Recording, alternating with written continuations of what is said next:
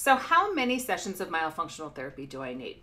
I get hundreds of emails from people saying, Hey, my doctor told me I need myofunctional therapy. I need a couple sessions. Can you help me with this? The answer is no. And the reason that is, is because my practice only does complete rehabilitation.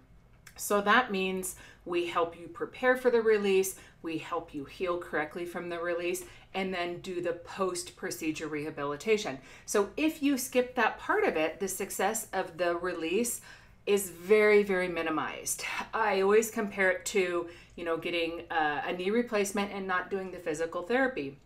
So even though your doctor may say, hey, you need a couple sessions, they might not understand how important that post procedure rehabilitation is. Okay, so now you can move the tongue.